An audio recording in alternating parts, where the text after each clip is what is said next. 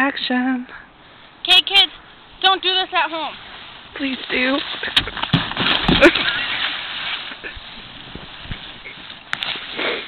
Ow, my boob.